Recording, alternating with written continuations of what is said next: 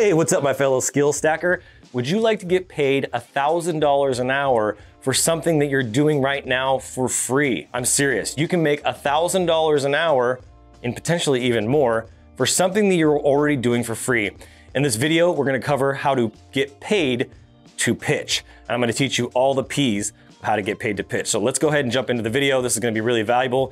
Make sure you have a pen and paper to take notes. This is something you're gonna wanna write it down. So I wanna start first by telling you a little bit of a story. I started my agency back in 2015, Adrian Graphics LLC. Uh, I actually incorporated way earlier than that, was doing consulting, but my agency itself, my brick and mortar with my team, my office space, all that stuff actually started in 2015. And when I first started, I would bring in clients from Google Maps and Google search and Facebook and all the different areas, right? And I'd get people sitting in front of me and because I had a lot of experience in marketing and design and branding and websites and SEO and had a really, really good track record at that time of having made millions of dollars for companies, I had some good authority. And with that authority, I would get these people to sit in front of me. And when they sat in front of me, I would share my ideas and my visionaries, my strategies. I would talk to them. And I would spend like 45 minutes, an hour, sometimes an hour and a half. I think there were a few meetings where I would spend two hours and I literally would close maybe one or two at best out of like a 100 people. I'm not exaggerating, one or two out of a 100 people. And I kept wondering to myself, why am I not making any money? Why are these deals not closing? Like I'm giving away like such good stuff. And so it was at that time where I actually brought in an outside mentor and I said, hey, I don't understand what's going on. I'm getting deals, I'm getting business, but the amount of business that I'm getting and all the different challenges I have, I'm just not really able to sustain and I'm not getting the growth that I want. I don't understand what I'm doing wrong. And he said, dude, you're giving away the most valuable thing that you have for free. Of course they're not gonna buy anything for you. You just gave them everything that they needed right up front. They can go somewhere now for cheap and do the fulfillment side, the integration side of what you're trying to do. Because what I was trying to do as an agency owner, right, doing graphic design work, branding work, logo work, website work, SEO, paid advertising, all the things that we did, I was trying to sell the fulfillment services and offering all that consulting for free when the consulting is the, literally the most valuable piece. Coming up with marketing plans and brand strategies is the most valuable piece because without that, you're just throwing darts blindfolded and hoping to hit a bullseye, and your chances are slim to none. So when I shifted my mentality and said, he said, you're gonna start getting paid upfront for your strategy sessions. But what you need to do first is you need to set up the right process. And so I started doing that. And what happened is through this process is I was doing my initial pitch and, and showing them how I could help them. I would send them the proposal, and you guys can relate to this. I'd send them a proposal, and then a week would go by, two weeks would go by, I'd follow a bunch of times, never hear back. And then the people that actually did call me back, I'd be like, what's going on? Are we gonna move forward? They're like, oh, you know, it's just out of my budget. Oh, it's just out of my budget. Oh, it's just out of my budget. And I'm like, why is my stuff out of the, and I'm like, let's be real here. I was charging like three to five to ten thousand dollars at the time, to where I charge two, three, four, five times more than that now, right? So I was offering insane prices, but they were still telling me, oh, it's out of my budget. It wasn't out of their budget. I already gave them everything that they could possibly want, and they were gonna go out and figure it out on their own. And so when I shifted that and said, okay, I'm gonna change my process and I'm gonna start charging for this, what I did is I shrunk my consultations from one hour, one and a half hours, or whatever, down to 15 minute discovery calls. And through that 15 minute discovery call, I have a process that I take them through, which I'm gonna share with you guys today, that was very succinct, very clear, and it qualified them on that call whether they were a good fit for me or not. So no more of spending hours and meeting with clients and putting together proposals and following up with pitches and like trying to close the proposals and trying to chase down your clients. I don't do any of that anymore. That does not, that is not part of my business model. It's not part of my practices. Have I done it from time to time when there's an exception, right? When somebody refers me somebody that I know is successful, that I'm qualified, they're qualified, and they're ready to go. Sure, I'll give them more time for free. I do this for friends, I do this for close colleagues, but for the most part, that is the exception, it's not the rule. So I don't want you spending hours trying to chase down one client. They should be coming to you. And so today, the biggest thing that I wanna share with you is the process of pitching and actually pitching to win versus pitching and losing. So the first P in the process of pitching to win is positioning yourself as an authority.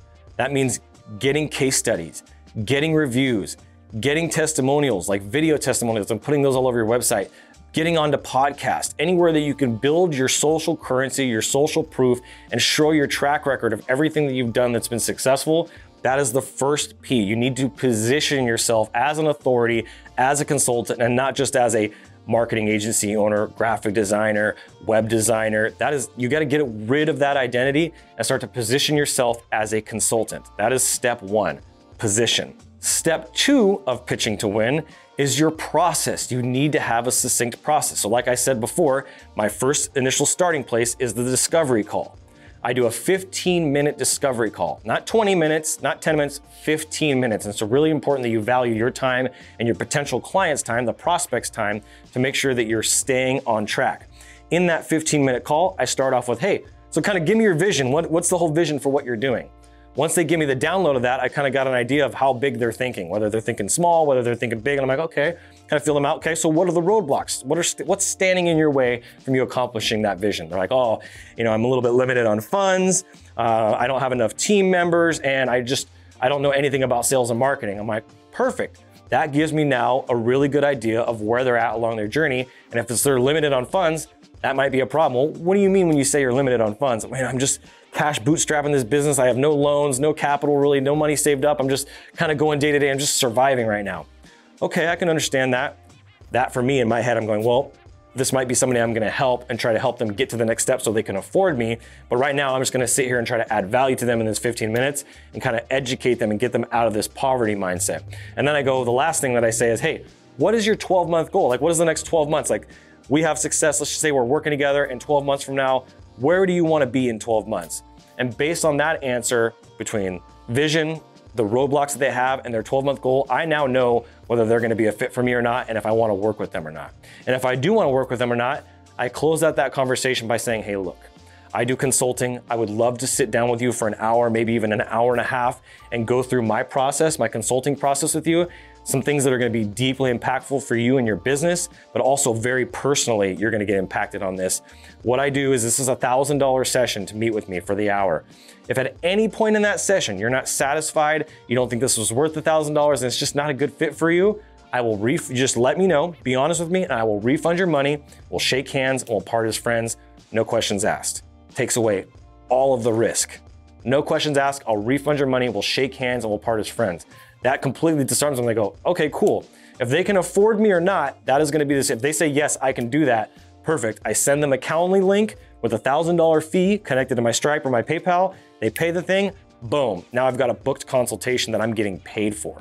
Which leads me to the next P, which is actually preparing. You need to do some preparation and some work in advance. You just got paid $1,000 for an hour and a half session. You can afford to take 15 minutes out of your day and research their website. Look at their social media pages. Look at the content that they're creating. Look at their YouTube channels. You need to be looking at other things around their business so you can be prepared to know what to expect when they come in. You can send them a questionnaire form to fill out in advance even to make sure that you have all of the information that you need in advance. So make sure you're doing that due diligence up front and you're getting prepared.